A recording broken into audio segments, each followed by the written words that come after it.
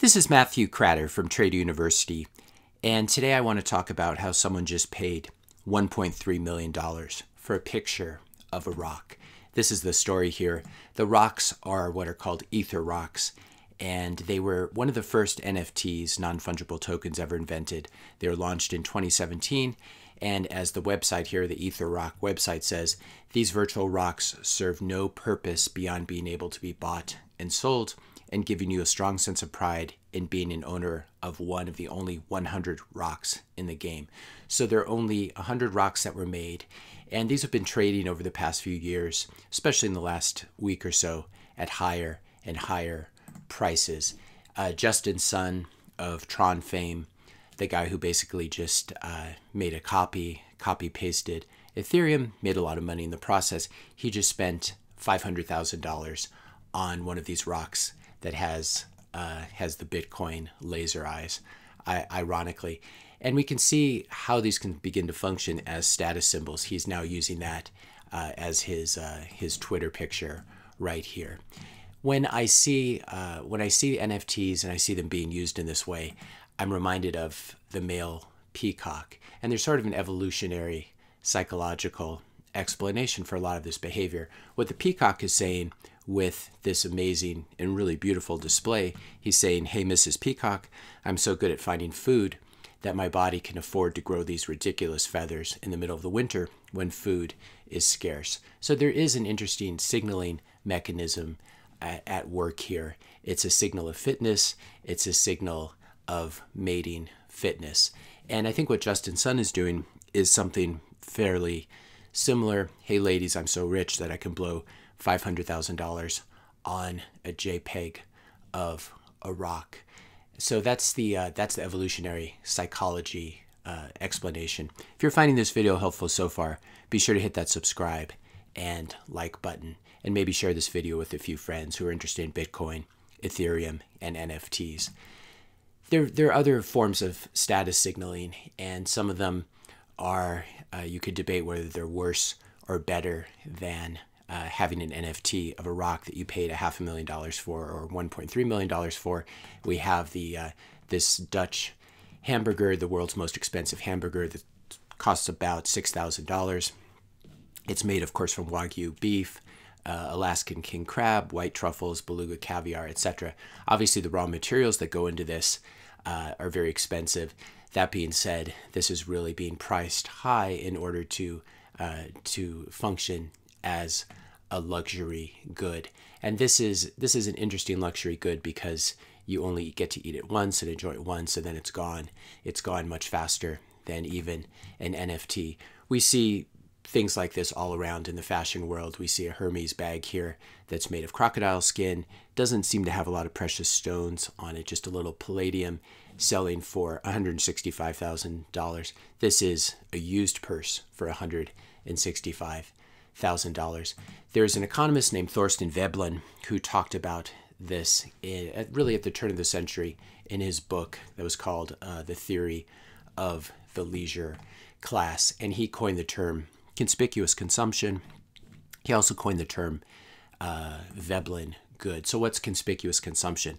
It's basically buying a very expensive luxury good in order to signal one's economic power and perhaps indirectly one's uh, value as a potential mate.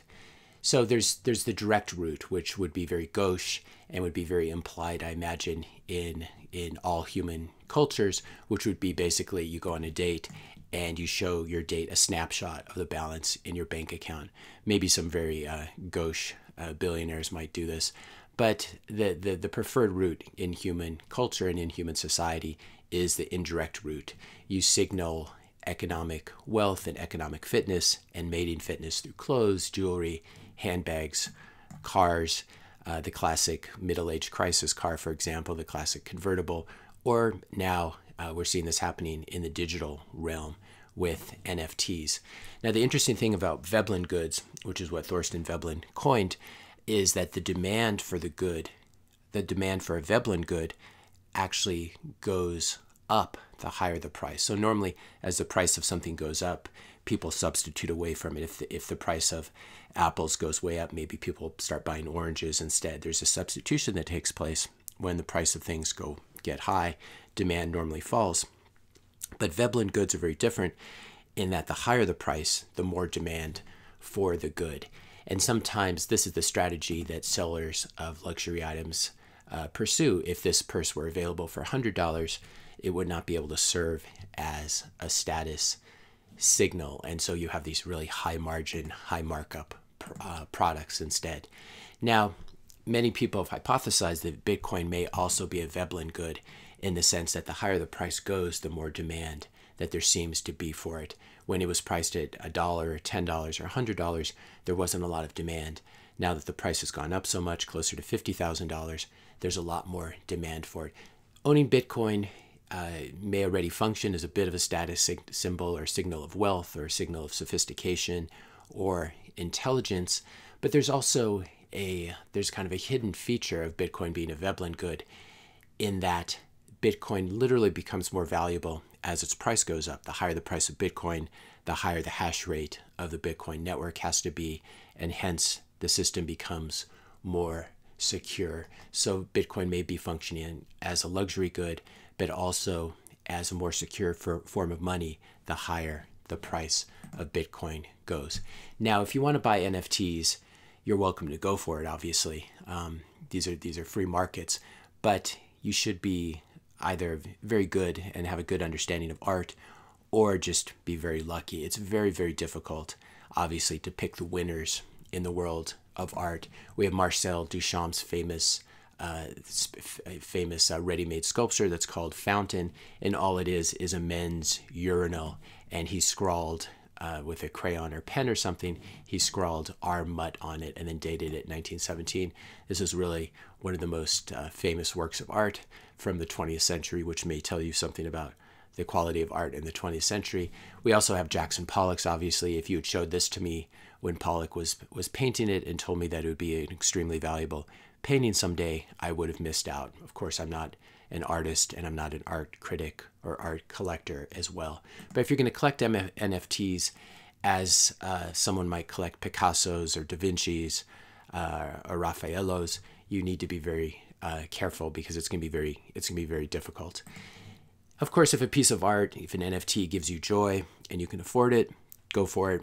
If you want to buy an NFT or piece of art to status signal, you can also obviously obviously go for it. But I would say the difference between the sort of artificial scarcity of ether rocks, where there's just 100 rocks and there's this signaling game that's going on with people like Justin Sun, if instead you're interested in things like changing the world's financial system, helping the world to move to a decentralized, truly neutral reserve asset, helping to neuter the power of the world's central banks and also helping to give power to people who don't have bank accounts, the world's unbanked, and helping them to fight their governments who cause hyperinflation, whether it's Venezuela or Zimbabwe or even just the Federal Reserve, who's been debasing our money quite rapidly over the last 18 months. If you're interested in these sort of things, uh, less the status signal, less the, the, the idea of buying art, then you should be buying Bitcoin.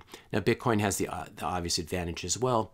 It's like, uh, I consider it like shooting, like shooting fish in a barrel. Bitcoin is also going to go up quite a bit. It's very unclear whether these ether rocks, whether this is truly greater fool theory with these ether rocks, but Bitcoin is uh, Bitcoin has value as a store of value, as a way of sending digital gold very quickly anywhere in the world in a permissionless, non-censorable fashion. Bitcoin is also has the advantage, besides uh, doing all these virtuous things like helping to hurt and get rid of central banks, Bitcoin is going to go up a lot, and it's going to make people who understand it and are able to hold on to it a lot of money. Bitcoin's going to go to a million dollars in the next couple of years. It's going to go to two million. It's going to go to 10 million. It's going to keep going up over time. As I said, Bitcoin is like shooting fish in a barrel. Unlike NFTs, it's much easier to pick as a long term winner.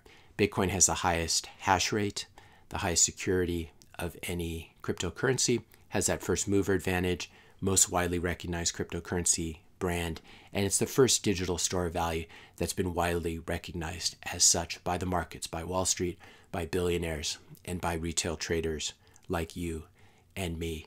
The thing about true digital scarcity is it can only be invented once. Just like Picasso can only paint in his style once, anyone who tries to paint like Picasso now, the, the paintings just aren't going to be as, as valuable. It's things are very very valuable when they happen the first time, and the same thing goes for digital scarcity. True digital scarcity can only be invented once, and it was invented by Satoshi Nakamoto in 2008, 2009 altcoins try to artificially recreate Bitcoin's scarcity. And this, of course, has always been a good marketing game. This is what Ether Rocks and CryptoKitties do as well. But the uh, this is quite artificial because these altcoins tend to be very centralized. They're controlled by a central party that has uh, that wields the bully pulpit, like Charles Hoskinson or Vitalik Buterin. Also, it's very clear that these altcoins and rock NFTs certainly which are built on Ethereum, will not be the world's new reserve asset. So they're not really in the same category as Bitcoin, just as other cryptocurrencies are in a completely different category from Bitcoin. They're more like unregistered securities that are being used to finance um, finance research or finance the luxurious right lifestyles of people like Justin Sun. Ethereum's not going to be the, the world's new reserve asset either. Nothing built on Ethereum, and Ethereum itself will not be simply because of the really shady 70% pre-mine, which we've talked about before, the highly centralized leadership, uh, and also its move to proof of stake, which is really moving to a foundation of sand. And it, the move to proof of stake is a way to further enrich the original beneficiaries of the pre-mine and pre-sale because they'll have uh, extra power under proof of stake. So Ethereum, unlike Bitcoin, Ethereum is not neutral money, just recreating the fiat system with Vitalik on the top, at the top, instead of Jerome Powell. So if you're interested in changing the world, if you want the world's first truly scarce asset and truly decentralized asset, there's really only one asset. And uh, Bitcoin is really in an asset class of its own. There's only Bitcoin, and Bitcoin is the next Bitcoin. Not NFTs, not Ethereum, not Cardano, not Ripple, just Bitcoin.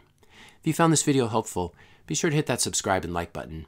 Hit the notification bell if you want to be notified when I publish my next video. And let me know your questions and comments in the comment section below. Thanks a lot for watching, and I'll see you in the next video.